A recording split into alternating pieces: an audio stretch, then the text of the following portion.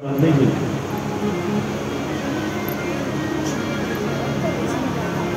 कथा कहना धन्य, और आपका कथा सुनना धन्य, आपका कथा करवाना धन्य हो गया।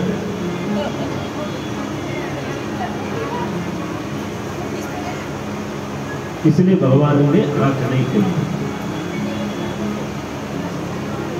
सज्जनों मोहतरमैनों तब पूतना को लगा कि आँख नहीं खोलेगा।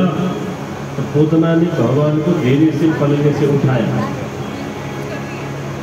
और पलने से उठा करके खोदना भगवान के मुख में अपना स्तन देती है और यानी दूध पिला के रखती है जैसे ही इसने भगवान को गोद में उठाया तो वो आकाश में उड़ी।